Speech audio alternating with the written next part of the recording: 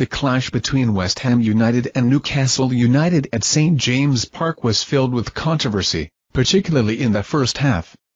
West Ham fans were incensed when Newcastle were awarded a penalty despite an apparent offside in the build-up.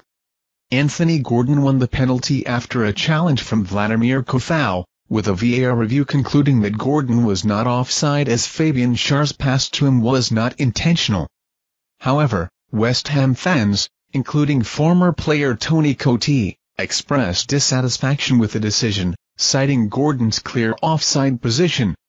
Despite protests, the penalty stood, adding to West Ham's frustration. The match saw West Ham squander a 3-1 lead, eventually losing 4-3 to Newcastle, with substitute Harvey Barnes scoring a sensational winner.